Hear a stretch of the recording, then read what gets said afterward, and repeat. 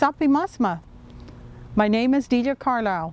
I'm, I'm an enrolled member of the Ak-Chin Indian community, which is approximately 35 miles south of Phoenix, Arizona. We're one of the smaller tribes in Arizona. We have a land base of less than 22,000 acres, but we actually farm over 15,000 acres of that. Primarily our crops are uh, small grains, alfalfa, milo, uh, cotton, and we do have uh, potatoes that we contract out to a neighboring uh, city of Casa Grande, the Frito-Lay plant that's there. So if you're ever in the market and you come across Lay's potato chips, that could be our potatoes there.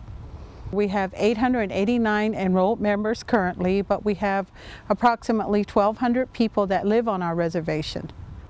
Our several enterprises that we have here include our casino, Harrah's Ak-Chin Casino, our Ak-Chin Farms, which I just mentioned about our farming operations, and we're, we're working on an industrial park, which is just east of us between the city of Casa Grande.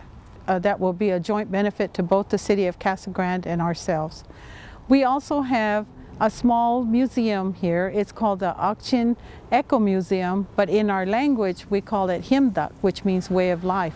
And it's a small uh, museum that primarily depicts the uh, individual family's history of the reservation. But people are more than welcome to come out and visit. We're very proud of our exhibits there.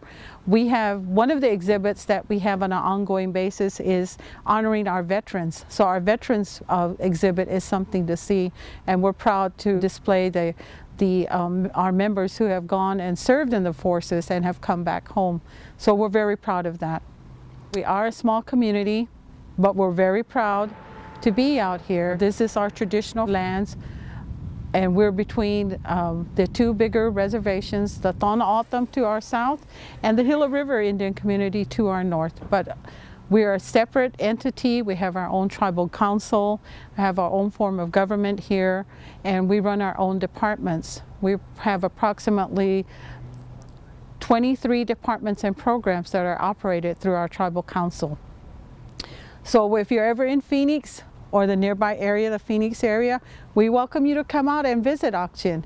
Not again for our casino, but for the fact that we do have rich, a rich culture to offer you and share with you uh, based on our farming operations. So again, uh, please come on out and if nothing else, we will feed you quite well when you're out here. Thank you very much.